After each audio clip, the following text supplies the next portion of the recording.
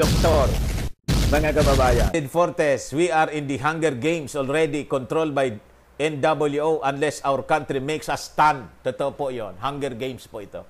Yung, yung pelikulang Hunger Game, ay, sabi ko sa inyo, predictive programming. May bago nga ngayong ano, uh, na-share sa akin, pero matagal ng pelikula. Taikos. Tingnan ninyo, Taikos. Umulan ng apoy. Umulan. Saan galing yung apoy? Sa langit. Umulan ng apoy, mga asteroids. Another predictive programming, mga kababayan. Bakit niya, Mr. Maravillas? Kaya nilang gawin yon? Hindi sa kaya nilang gawin yon. They know the future. Ah, nakasilip sila doon. Mayayaman sila nga. Kaya sabi ko nga sa inyo, may, may episode ako, di ba? Na may mga tao na tayo dito sa mundo, nandun na sa space, ano, country, space nation, as, ano yon As, Asgardia. As, Asgardia yun? Asgardia yata. Asgardian citizen, yung mga tao doon. Bakit sila nandun sa space nation? Ang tingin nila kasi, paniwala nila mga kababayan, itong mga elite, paniwala nila, maliligtas sila doon. Mga ulupong, hindi po kayo maliligtas doon. Tatamaan din yan.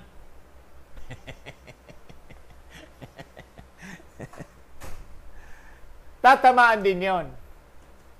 Yun lang ang akala ninyo, maling akala. In the Word of God, ang sabi sa Word of God, in the second coming, the powers of heaven will be shaken. Ang lahat ng mga heavenly bodies, yoyogyugin ng ating Panginoon. Mawawala sa kanilang kinalalagyan. Kasama kayo doon, including all the satellites. Kaya gusto ninyo kaming kontrolin with your internet ano, technology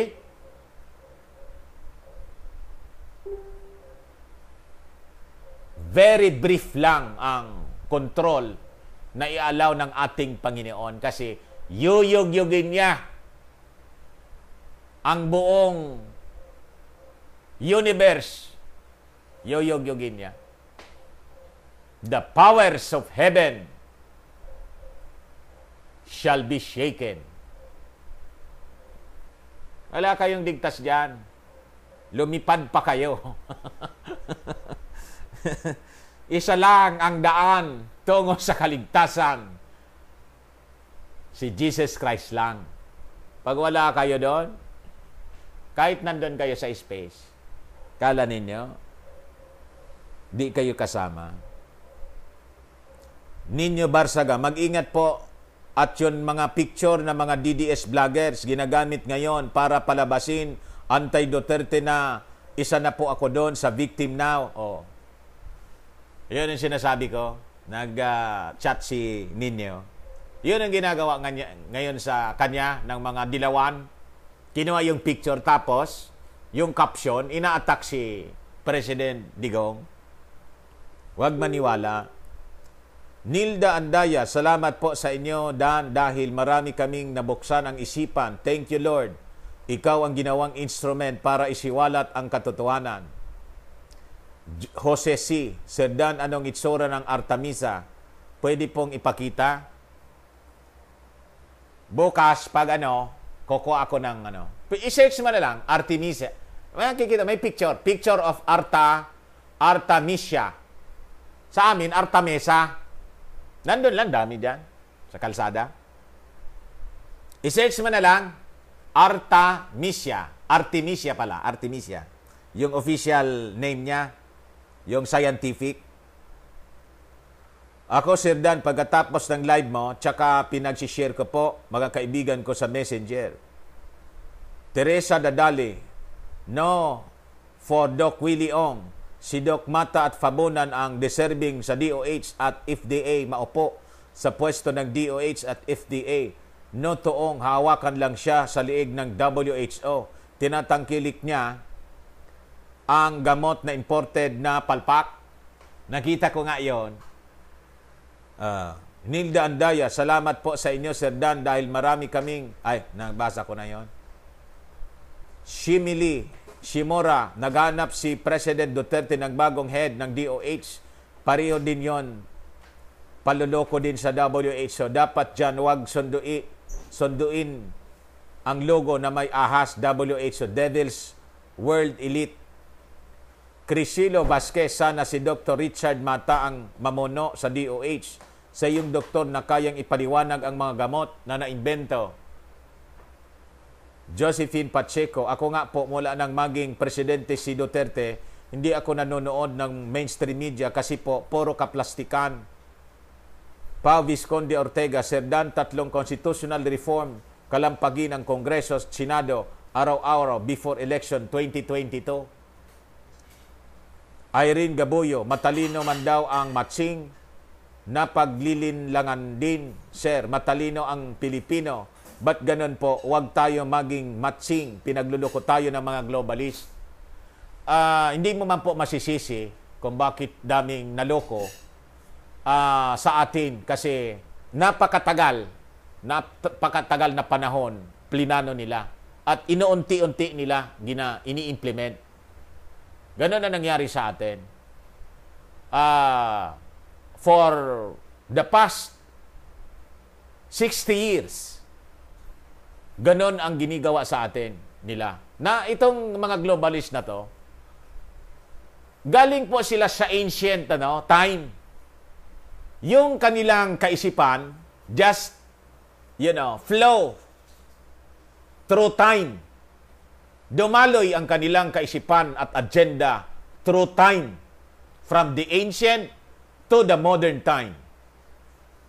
Kasi po ang brain ang brain ng mga globalist, mga kababayan, the old old serpent, kung sino yung uh, nanlinlang kay Adan during the time of creation, the same being ang nanglilinlang sa atin ngayon. Kung saan ang kanilang mga instruments, ito pong mga globalist kabal ang tawag ko. They're the enlightened people kuno. Ang nag-enlighten sa kanila, si Satanas. They are actually Luciferian. Ah,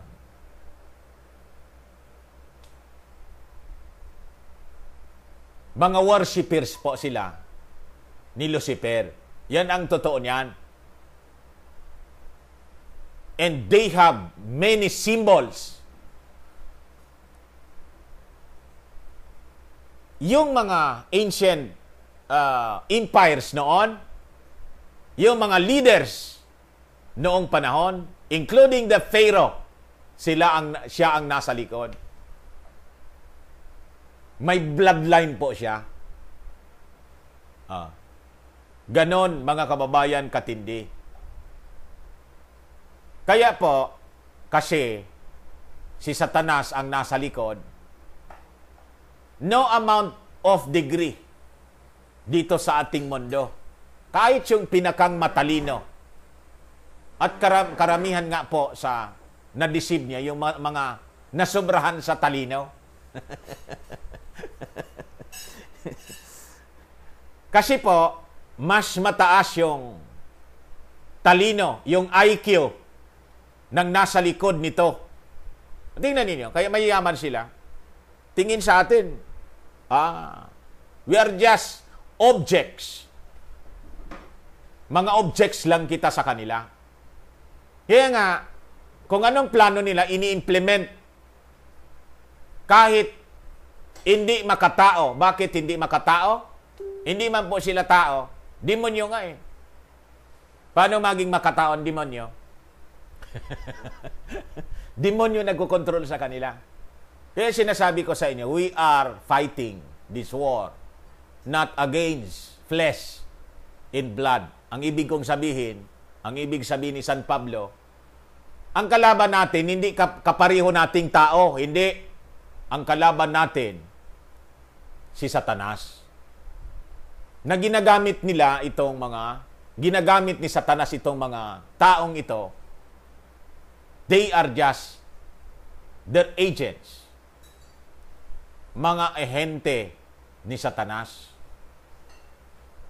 Kaya nga po, hindi ninyo napapansin, sino ang mga uh, nagdi-discuss ng mga ganitong linya ng uh, pagpapaliwanag? Uh, Only those believing in the scriptures. Mga Bible believers lang ang nakakapag-discuss ng ganito. Pag hindi ka believer ng, ng Biblia, hindi mo siya maintindihan. And most likely, you will be buoyed by the wave of lies nitong mga taong ito. Kaya nga po napakarami ang na-deceive. Okay po? Kaya nga po sa ating discussion, laging uh, sinasamahan ko ng scripture because there is power in the Word of God. Without it, wala. Kaya nga po yung mga hindi ko pinakikinggan. They're, uh, you know, being pushed by the evil spirit to attack us.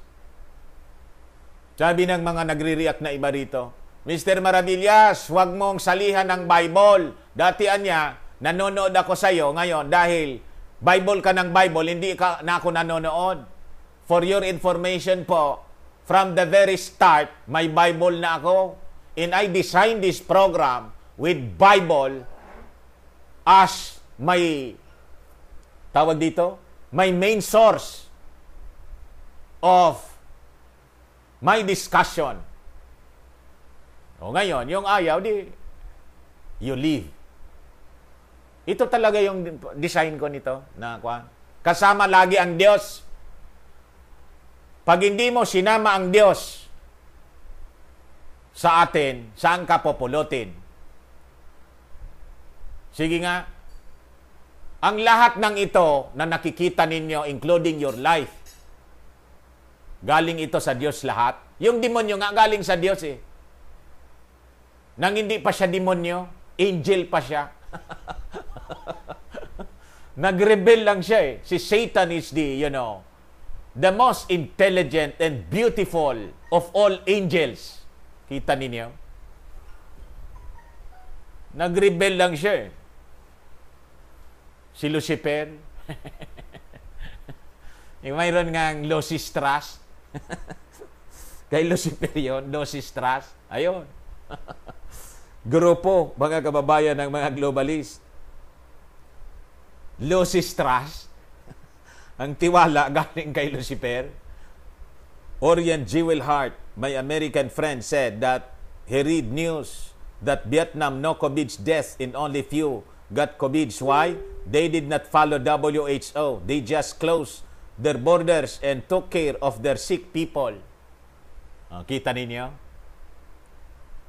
Danilo Soriano, parang basketball yang abayas na yan. Tinawagan ng foul tapos pinipilit nila na hindi daw na hindi daw kaya ayan dami ng technical ng mga artista. na technical na no. Bonso Alas, idol watching from Talisay, Cebu City. Pakibati naman Sako, Migo, nga nga, nga, Tan, Juan, Jimboy Elden, Og, Dodong, Lukay, Lukay, Lukay,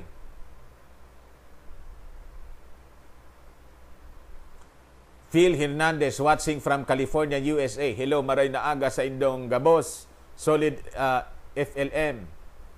I agree, Dr. Mata, kapalit ni Doke. Uh, Jason, California, Romans 1.16 For I am not ashamed of this good news about Christ. It is the power of God at work saving everyone who believes, the Jew first and also the Gentiles. Si Jesus Christ lang po ang pwedeng magligtas sa atin dito po sa uh, plano na sukubin tayo nitong mga globalist pag hindi kayo napunta sa side ni Jesus Christ. tribulation period, seven years with the Antichrist.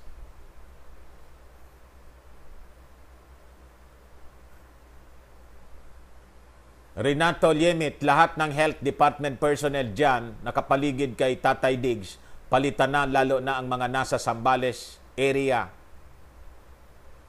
Amboy lingkod, tama yon Sir Dan, kailangan may kasaling Bible, pati science. True science, biblical po. May false kasi, may true. Itong uh, linya, itong uh, sinusundan ng mga globalist, false science. False science po. Sa kanila, politika, power and wealth. Hindi man po siyensya. Yung mga nagsasalita na scientific, yung mga doktor, medical doctors, sinisensor nila. Negosyo kasi in power, apektado. Nabubuking yung kanilang agenda. Pero baliktad ang sinasabi nila. Yung mga promotor dito ng lockdown, it is anya based on science in math. Nasaan yung math ninyo? Bilang kayo ng bilang. Pati nga yung kalyado ninyong Yopi, question, erroneous. Ita ninyo? Pedro J.R. Al Almansor, ginagamit na logo ng doktor ang ahas dahil sa utos ni Moses na gumawa ng ahas na tanso at nilagay sa isang mahabang stick upang gawing bawat titingin doon ay gagaling ang mga Israelita sa kagat ng ahas. Yun. may may history yan kung bakit ahas. Kita ninyo? ang agenda mga kababayan ay hidden in plain sight. Ang agenda ng WHO. Aniceto Rivera, ang otoridad nakakakita ng paraan para sikilin ang kalayaan ng mamamayan. Ang wipo nila ay itong virus. Huwag sana nas sila ang manlulupig ay lahat sila ay papanaw sa virus. Aileen Sipaco, Sir Dan, mas mabuti pa sa iyo na lang makinig. Mas nakakampante pa kami, di tulad ng mainstream media, nakakainis pakinggan. Nerissa Estrada always watching. Sir Dan, totoo, grabe talaga ang COVID-19. Naging robot. Tuluyan ng, tuluyan ng naging robot mga tao. God bless po, po your family. Naging robot tayo. Anong oras na ba? Los Biminda Gamboa, God is good all the time watching from Dubai. Good day po, Sir Dan. Mas mainam manood sa iyong live dahil totoo lahat ang sinasabi po ninyo. Charito Ubay, was the evil, evil from your heart so that you may be saved. You must rescue everyone you can while there is still time. John Lasiste, Carlo Lasala Donato, sana magising na si Duterte kasi mukhang iniwan na niya tayo sa ere.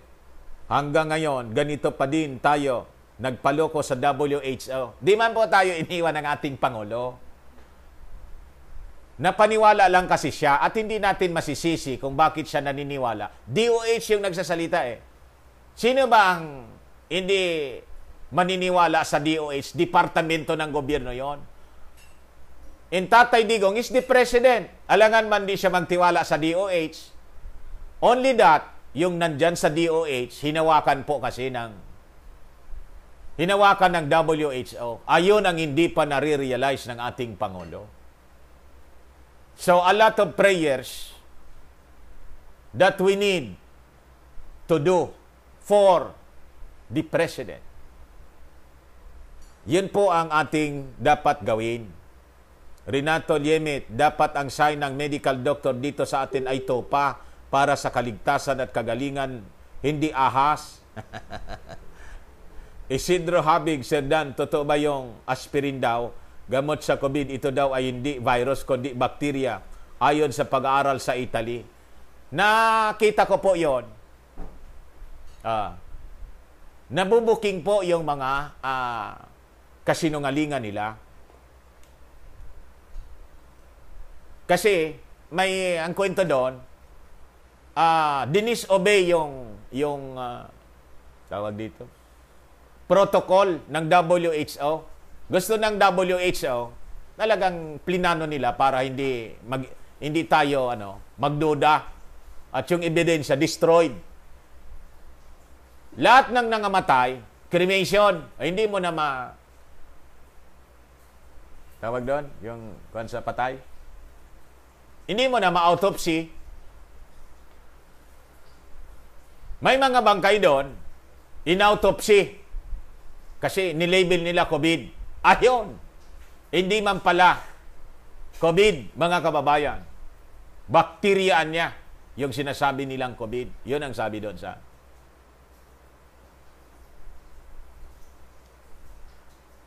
Orient Jewel Heart Bica, bicarbonate contents are much higher in roots in stems than in leaves. Bicarbonate enhances the inhibition of hemozoin by Artemisia plants. Ah, ganun ba? Uh, mas maganda pala yon. Kaya pala yung nanay ko noon, uh, buong, buong Artem, Artemisa, Artemisa na lang po, Artemisia kasi, Nabubulol ako. Artemisa kasi yung tawag namin, local name for Artemisia. Artemisa, madaling i-pronounce eh.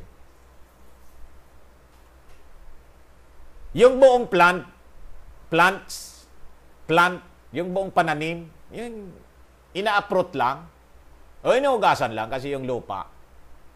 Lahat na yon nilalagay sa kaldero, kasirola, pinapakuluan. Tapos pag medyo pwede nang inumin, inumin. Ang dali-dali, mga kababayan, sa trangkaso. Tapos sa ubo, yung walang tigil na ubo. Ang dali-dali.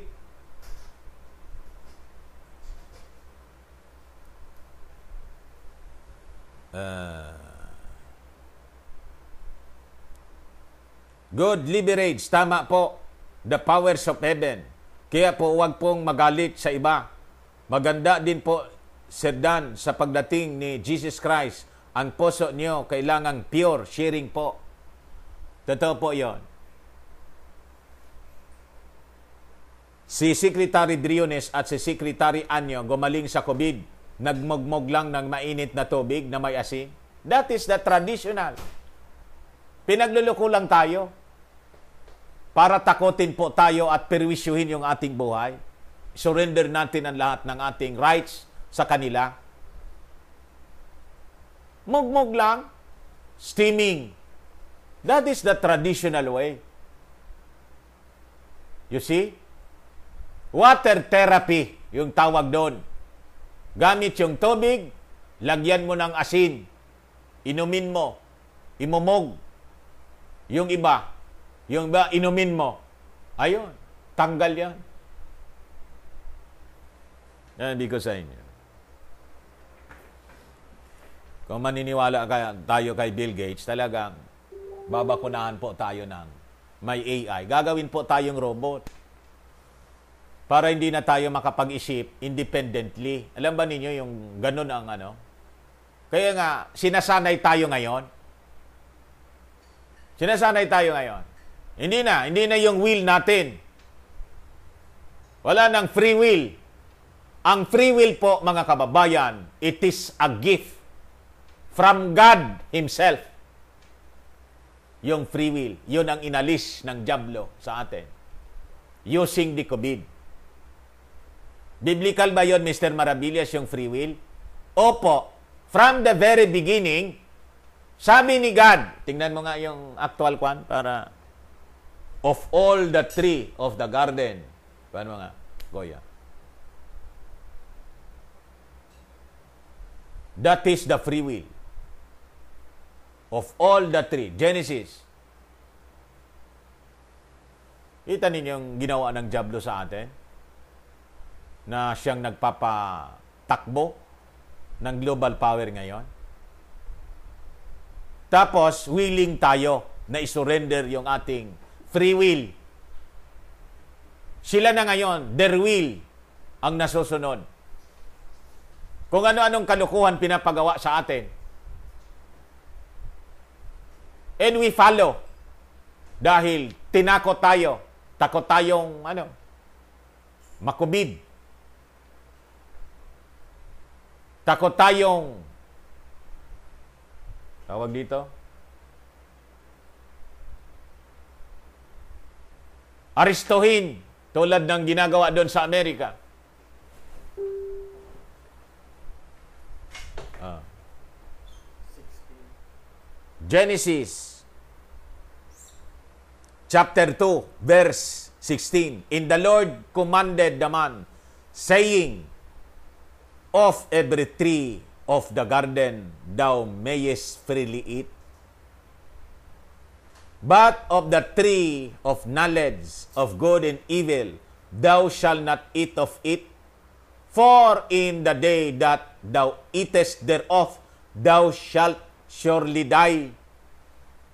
Malinaw po. Binigyan tayo ng Diyos ng choice.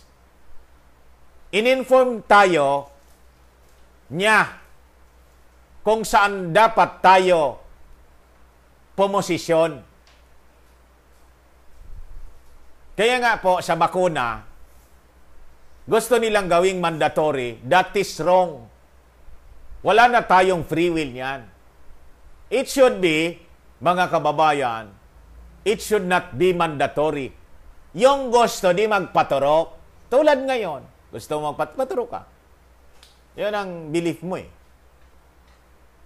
Kung ayaw mo, you have your right sa iyong katawan, you should not be forced or penalized for saying, I do not want. This is my life. Kita ninyo? I have my own cure na alam ko. Bakit mo ako didiktahan? Mamamatay ka niya. Ang paki mo kung mamatay ako. Tingnan mo si Adan. Hinayaan ng Diyos. Pwede naman sabihin ng Diyos, ito lang ang gagawin mo. O didiktador na yung Diyos. Kasi mamamatay ka dyan. Ba't hindi pinigil ng Diyos? Kasi nga binigyan ang tao ng free will. Kita ninyo? Ulitin ko. Pwede naman yang pigilin. Makapangyarihan siya, di ba? O, uh, Adan, Adan, stop!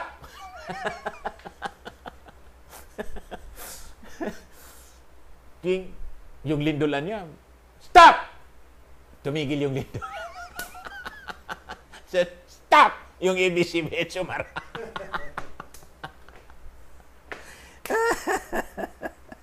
Nagkataon lang yon. Amigo sa inyo, binigyan tayo ng free will. Inalis ngayon sa atin. And you are willing to participate sa pag-alis ng free will sa atin of all the tree of the garden thou mayest freely eat.